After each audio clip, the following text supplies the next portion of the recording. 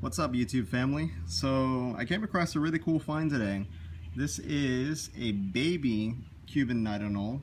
Um, this one in particular is probably not much older than a few months. Baby knight anoles are actually very very reclusive and they uh, they tend to hide up high in, in the trees and uh, in their young age. So this one in particular was a hard find.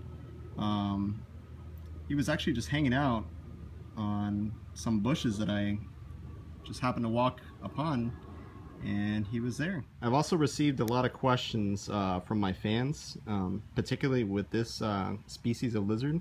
Um, a lot of people ask me if the Cuban knight anole is a lizard that you will want to keep as a pet. My recommendation is no. Um, Cuban knight anoles need a lot of uh, need a lot of space to live, and um, they this type of lizard typically likes to roam a lot and they they don't like to stick around in one space.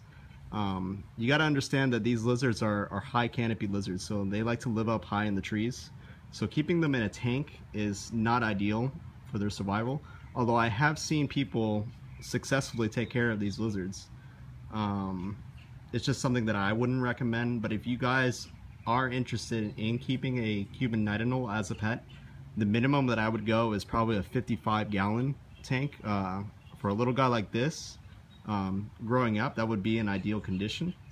Um, what they like to eat in this stage is like crickets, um, little mealworms, grubs. Uh, all these would be ideal foods. Uh, when they get bigger, they actually uh, will eat larger beetles, dragonflies, even other uh, lizards, uh, smaller anoles like the brown or green anole.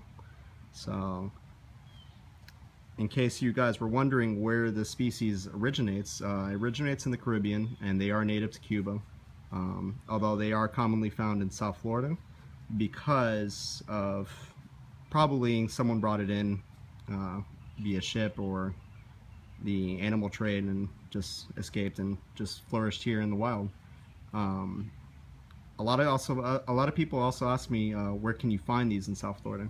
They are very common in Dade County, Broward, and Palm Beach. Um, anything much north of those locations uh, is very rare. They do not do well in cold temperatures. Nonetheless, it is a very, very beautiful species of lizard. Um, this guy is a little upset with me, so he's not really showing his his vivid green colors. When they get upset and stressed, they tend to have a darker color on them. This is the baby Cuban knight anole in a nutshell. Thanks for watching, guys.